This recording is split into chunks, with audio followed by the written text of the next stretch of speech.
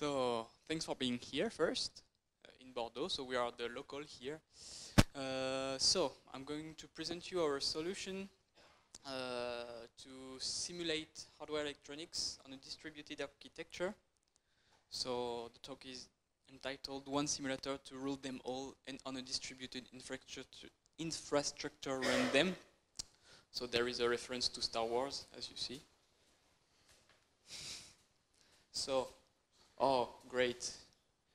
So the idea of what we are doing in Hiventive is to bring people from their electronics product ID uh, directly to, to the first steps of the fabrication, so the small series, small pre-series.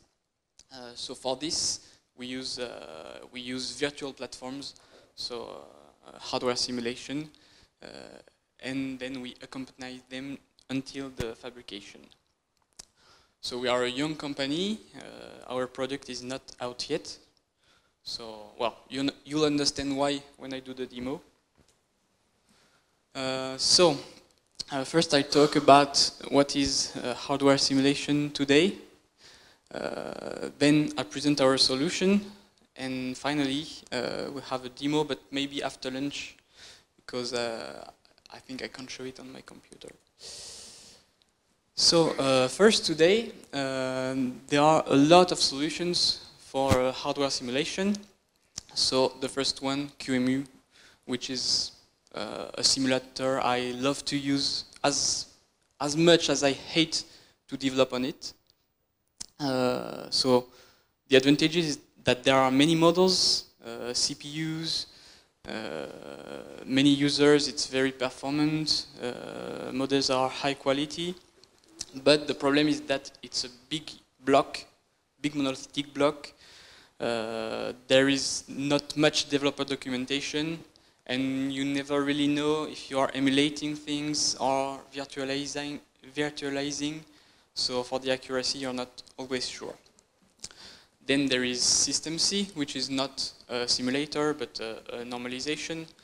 Uh, so what's good with it, it's, it's a strong normalization from, the, from System C and TLM2, uh, and an object language which is easier to represent models, uh, but the libraries of models are very fragmented. We never know if a model has already been developed, if we could use it, uh, and it's mono-thread, so it's not really performant if you have huge simulations. Then there are many others like Gem5, which has very accurate CPU simulation, uh, compared to QEMU, but of course it's slower in this case. So what is the solution? A new simulator? No, we have enough. Uh, we just have to take what's the best uh, from where it is. So uh, what we're doing uh, in our simulation is uh, instantiating several simulations. So they are all orchestrated by what we call SimGuru. Uh, and uh, all these simulators are, uh, are wrapped in a SimDisciple, so which is a common low-level API manager. Um, uh, so there is a middleware to make the communication with the with the simulator. Um, uh, so have a problem here. Okay. Uh, so there are several features such as uh, tunable time synchronization. Sometimes you just want uh, high grain uh, functional simulation. Sometimes you want to be very accurate. Of course, it will impact the speed of simulation. Uh, uh, then there is the aggregation of all so user inputs and platform outputs on a single web-based front end. Uh, and all logs are aggregated uh, and timed. Uh, and everything is just run from a single platform configuration input, which is today a configuration file. So uh, the representation of models uh, in our representation is really classic. So you have models which uh, have sockets. These sockets are connected between the models or they can be also exported uh, to make a, a, bigger model we can, which, which can be used uh, in another simulation uh, as a new model. So um, to orchestrate everything, there is a generic API, uh, API with um, uh, with several parts. So first there is simulation control, so which is used for time synchronization, uh, start, pause, stop. Uh, then the most important part is the platform assembly. So we, ha we have course to uh, tell the simulator to add models, to identify sockets, uh, add connections, export settings, uh, and then of course there are the transaction transactions when one of the simulator must communicate with another one. Uh, it sends messages to the guru, it transmits them to the right place, and then there is the simulation logs and uh, events. So the key steps in, in the usage, uh, well, in the in the functionalities of uh, this guru. Uh, so first, uh, the guru reads the configuration. It detects all the simulators which are concerned by the simulation. Uh, then all models, sockets, settings are listed. Uh, then detection is made if sockets must be uh, connected inside the same, in, say the same, same simulator or exported to be managed by the guru itself. Then for each disciple, um, so the guru uh, first may trigger code generation. Uh, for instance, in, in, System C, we have to generate code uh, because we can't easily uh, connect and uh, and create models dynamically because of uh, templated classes of TLM. the Guru then triggers the compilation with the right parameters. So yes, for instance, if we use a, a RISC-V a RISC-V architecture, QEMU will be compiled with the architecture RISC-V. Uh, and then uh, the guru runs uh, every disciple executable.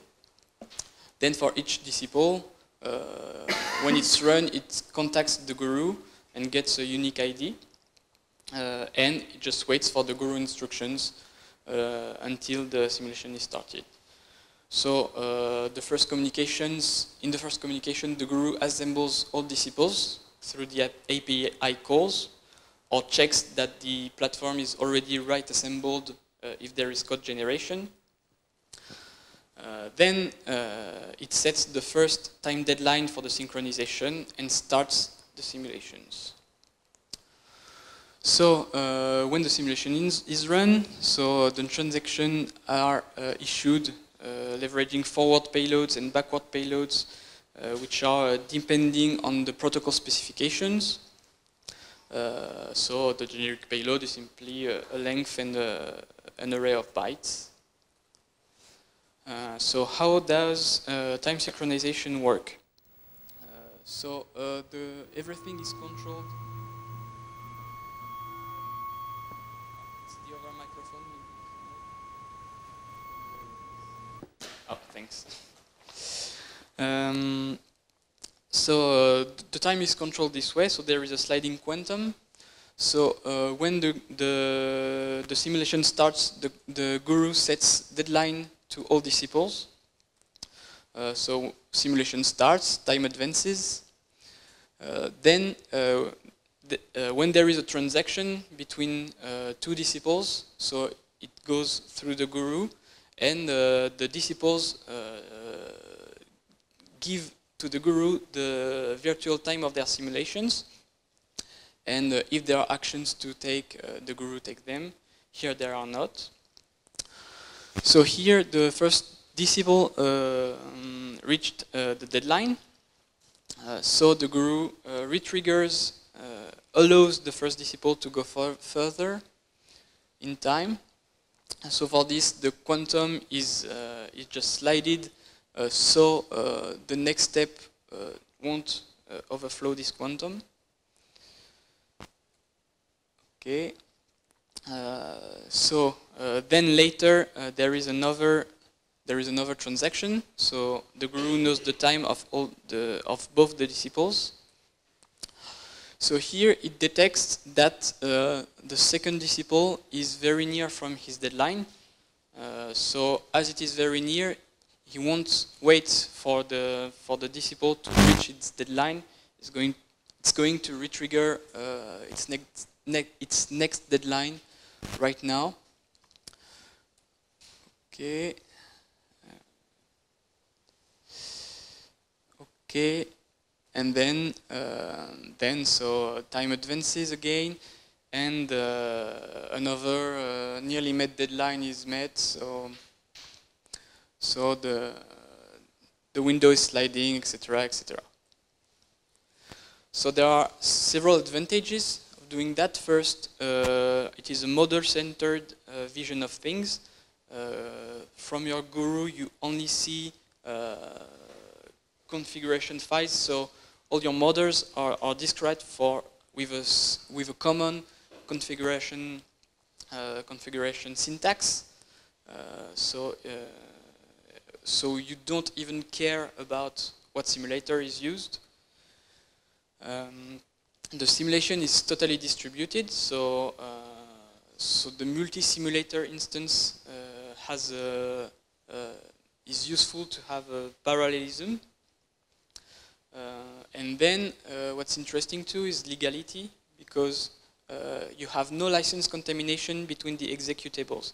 It means that you can run your models with QEMU but without being polluted by the by the license of QEMU, which would uh, which would uh, obligate you to use a GNU uh, GNU license. Then um, you can also use multiple CPU archi architectures in the same simulation. You can imagine ha having a Raspberry Pi communicating, communicating through UART or anything uh, with a RISC-V platform.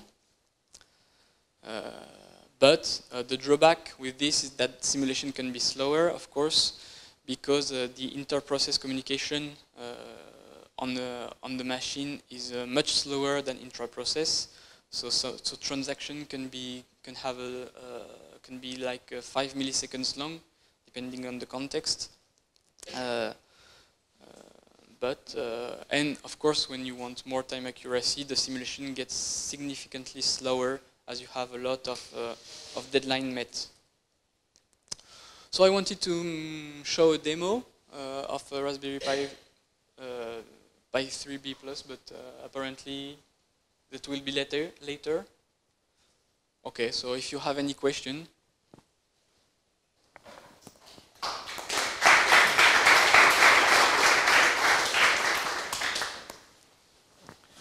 Um, thank you very much. I, think it's a great aspiration to have. Can I just check, the model of the quantum of time looks awfully similar to the System C TLM yes. model. Of, is, is it the same model that you're using? Um, I don't know, actually. Okay. but it's, okay. Yes, it's quite similar, actually. Yes, but um, uh, but I mean, uh, it's a it's proper. well, it's a, it's another implementation anyway. Okay. Uh, and but, uh, so one of the questions that comes from from that is how do you choose your quantum? Is that up to the user to select, or do you select it? Because if you have a big quantum, your simulation will go very fast. If you have a small quantum, but, but if you go very fast, you may risk something if significant events happen within the quantum. Um, so I wondered how you chose your quantum.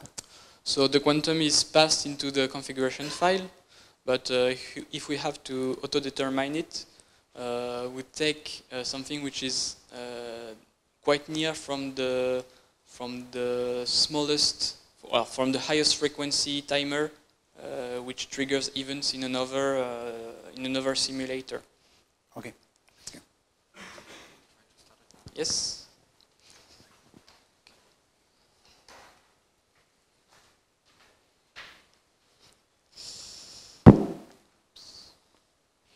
And you can also deactivate the quantum if you have not any uh, time synchronization.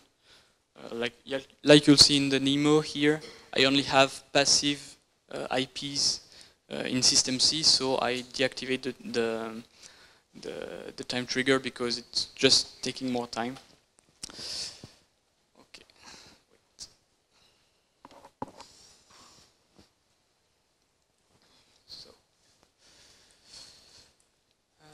Okay. Okay. From window.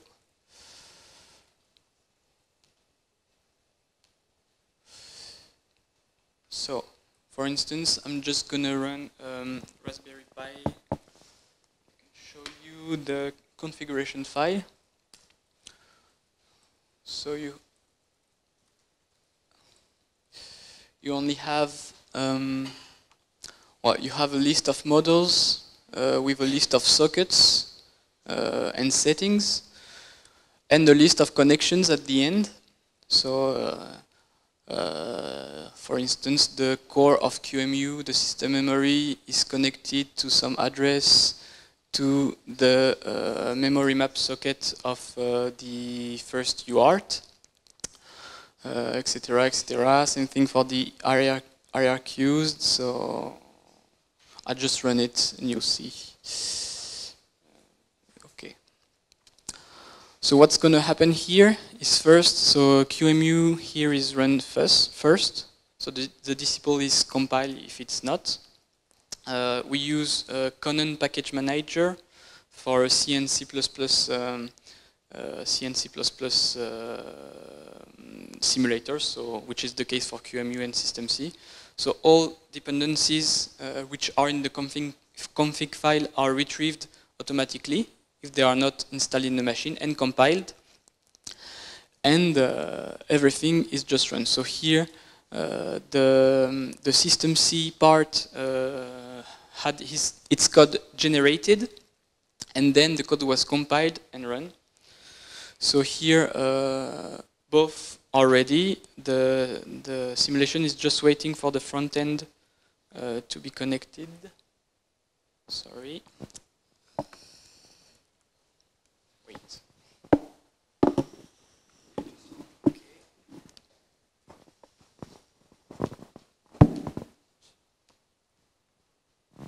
here we go. So here we have a Debian 9, uh, Debian 9 distribution running on the Raspberry Pi. So in the config file, I, I added a, a button and a LED which are connecting to the GPIO. So the GPIO, the button, the LED, the UART are all in System C. Uh, the CPUs, uh, RAM memory, uh, SD card, uh, SD host, uh, and other models are all in QEMU. And also the also the interrupt controllers, because I tried I tried to put the interrupt controllers in uh, System C, but it was extremely slow because there are a lot of transactions between the CPUs and the interrupt controllers. Uh, so as you can see, the, the Debian kernel is starting. Uh, takes a lot, well, quite a lot of time. So if you have any question, any other question uh, while it's uh, starting, yes? I really just want to keep Frank fit, but they um, um how, how well does this scale? Because you've got your guru, and it strikes me that with the need for the guru to control your time quantums, this probably is going to work quite well on an 8-core processor. I think if you started to put it on a 40-core Xeon, you might start to run into scaling problems. Have you, have you sort of seen how well it scales on highly parallel systems? You mean on the host or on the guest? Yeah, yeah, where, what you're running your simulation on. Um, well, um, where do you see a scaling problem on this? So, the, the, the, if you, the guru, the, the thread that's the guru, has to keep a global view of time. Yes. Okay, and all the other threads, which are, are going to be having to talk to that one thread. So that yes. one thread has the danger of becoming a bottleneck. So if you get to a, a highly, and I wonder if you measured that? Because that's a bit of a problem with all these yes, systems a, that have a global a problem, view of time. But the problem is that um, if you don't concentrate, if you don't concentrate the time, the time, um, well, the the time control. The problem is that you can't ensure with 100% chance that uh, your deadline is not met. Maybe you can have a more distributed way to do this. Uh, a way to a way to improve the to improve the speed is also to make the simulators communicate their transactions uh, directly uh, the ones to the others instead of uh, communicated with the guru but then you won't have uh, transaction logs for instance yes yes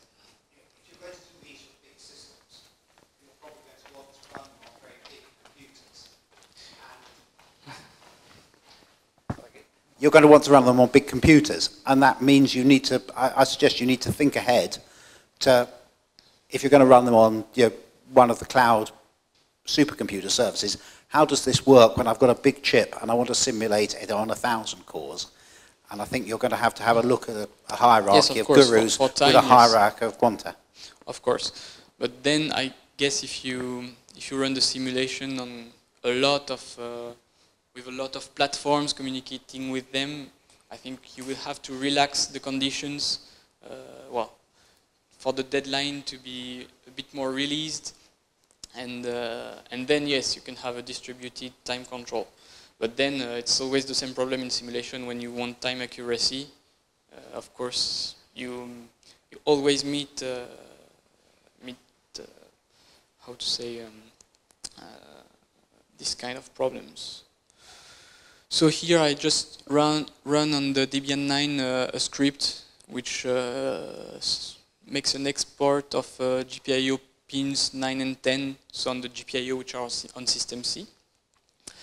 Uh, to, so the one on the button in input mode, the other in output mode, and then there is just a, a, a loop which is copying the state of the of the out, of the button on the LED pin. Okay, and so so you see, just works.